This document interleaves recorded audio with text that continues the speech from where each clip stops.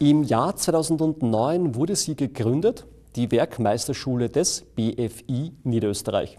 213 Absolventen haben diese bisher erfolgreich abgeschlossen und zwar mit 100 Prozent Prüfungserfolg. Nun wurden wieder Diplome übergeben. Das sind die neuen Werkmeister in den Bereichen Elektrotechnik und Maschinenbau. In insgesamt vier Semestern haben sie berufsbegleitend die Ausbildung in der Werkmeisterschule im BFI Niederösterreich absolviert. Und zwar in 1200 Unterrichtseinheiten zu je 45 Minuten, wobei nicht nur auf Praxis besonders großen Wert gelegt wurde, sondern auch das Erlangen von Führungs- und wirtschaftlichen sowie organisatorischen Kompetenzen.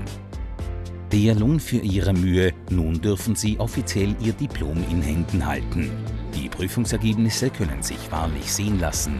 Nicht genug, dass die Prüfungserfolgsquote wie in all den Jahren davor bei 100 Prozent lag, haben 27 der 32 Teilnehmer mit Auszeichnung bestanden, einer mit gutem Erfolg.